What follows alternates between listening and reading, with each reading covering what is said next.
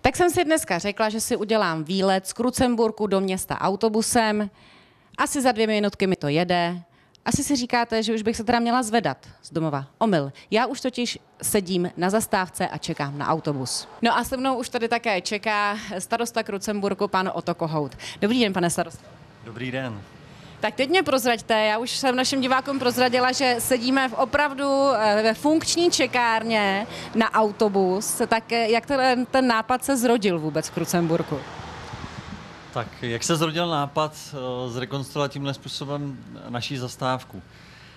Zastávka byla v takovém stavu, že opravdu už vyžadovala nějaké údržbové práce, byla rezatá střecha, omítka byla špatná, podlahy a tak dále. Prostě jednoduše řečeno, bylo potřeba s tím něco dělat s tím stavebním stavem, takže bavili jsme se o tom, jakým způsobem zastávku opravit, jestli ji opravíme tradičním způsobem, jako bylo předtím, a nebo jestli vymyslíme nějaké řešení. Oslovili jsme architekta uh, Davida Ptáčka, který nám pomohl s tímto řešením a přišel s tímto netradičním řešením. Tak. No, takže na základě jeho návrhu jsme potom začali rekonstruovat zastávku tak, jak ji dneska vidíte.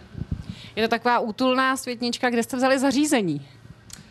Tak, zařízení vlastně uh, jsme dostali od občanů, to znamená většinu, nebo ne většinu, ale všechny.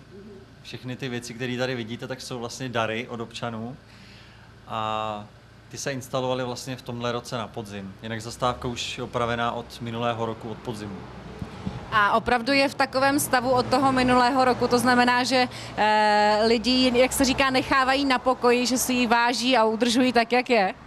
Je to přesně tak. Na podzim eh, v roce 2016 vlastně proběhla ta oprava, oprava bez toho, bez toho vybavení, to znamená o, výmalba, strop, osvětlení, lavice, všechno tady je už vlastně rok. Na podzim tohoto roku se sem dalo vybavení a to vybavení už tady je taky, dneska řeknu, eh, dva měsíce.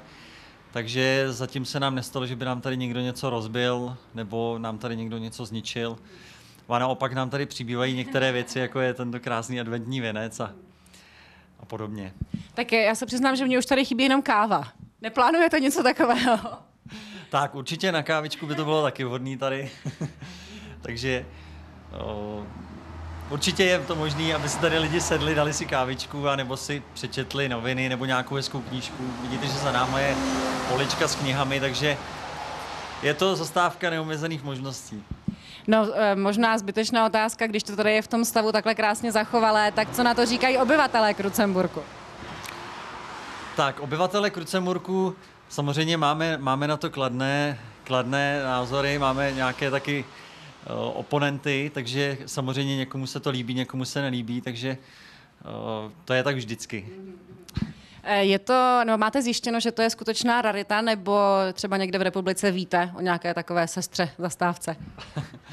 tak já se přiznám, že, že nevím o zastávce, která by byla podobně zařízená. Je možné, že někde, někde bude taky, ale nevím, nevím o tom. Tak každopádně jste první, pane starosto, já moc děkuju a já už musím, mě to jede.